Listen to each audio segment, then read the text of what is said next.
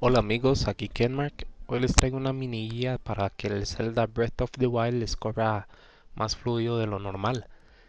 La diferencia de ahorita es que cuando uno va más o menos jugando se ve como un lag rarísimo.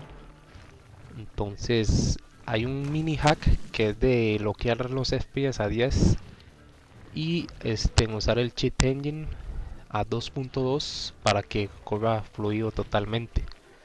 Obviamente van a bajar los FPS, pero la experiencia a la hora de jugar va a ser muchísimo más estable o, buenísimo para los que quieren jugar completamente tranquilos, sin ningún lag raro o, o así. Pero bueno, vamos directamente a lo que hay que hacer. Primero tienen que tener el Riva Turner. Ahí yo lo tengo bloqueado a 30 FPS, pero en este caso vamos a dejarlo a 10 damos clic ahí van a ver que se va a poner como lagueado o lento. Entonces vamos directamente al cheat engine.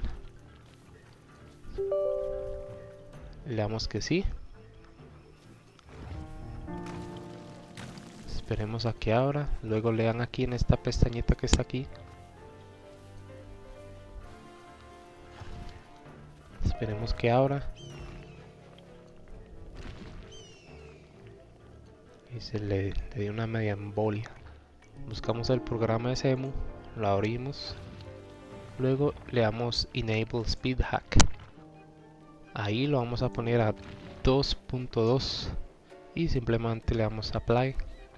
Y como pueden ver ya va normal. Está bloqueado 10 fps pero la jugabilidad es perfectamente fluida.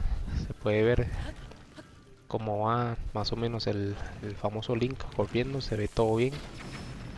Vean la fluidez y la velocidad con la que está moviéndose.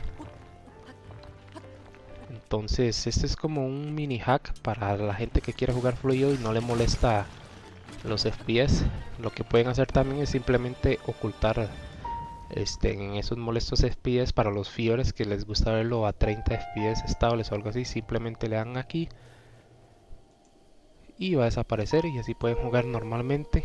Simplemente le dan full screen y ya juegan como si estuvieran jugando desde el Wii U normal porque prácticamente se ve muy estable. Y como pueden ver fluidez total.